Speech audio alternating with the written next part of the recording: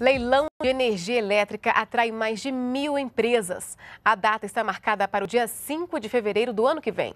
O destaque é para a energia eólica produzida pelo vento, responsável por quase metade dos projetos apresentados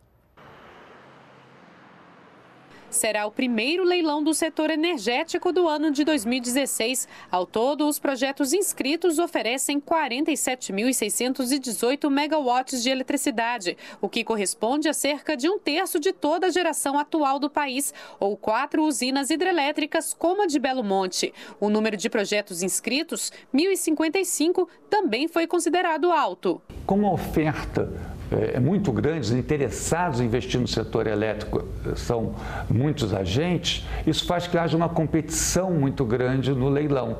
E como há uma grande competição, a expectativa de um preço baixo, o que é bom para o consumidor brasileiro. Hoje, a notícia positiva é que, apesar da situação difícil econômica que o país vem vivendo, o setor elétrico vem atraindo muitos investidores, um número enorme de investidores que estão interessados em participar do leilão e, portanto, investir no setor. As fontes dos projetos interessados são diversas: usinas eólicas, termoelétricas a gás natural, a carvão, a biomassa e a biogás, além de hidrelétricas grandes e pequenas. O grande destaque é para a energia produzida pelo vento, que foi a fonte de quase metade de toda a energia ofertada pelos empreendimentos inscritos. Segundo a empresa de pesquisa energética, em 2014, o Brasil foi o quarto país do mundo que mais ampliou a instalação de campos eólicos.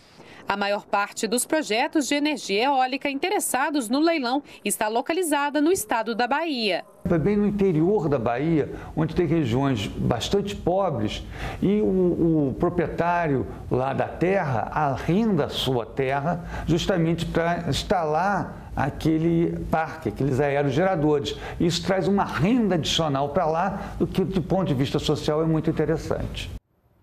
Agora, os projetos seguem para a empresa de pesquisa energética e a Agência Nacional de Energia Elétrica, que vão analisar requisitos como licença ambiental e a comprovação da capacidade energética. A previsão é que os projetos possam ofertar energia a partir de janeiro de 2021.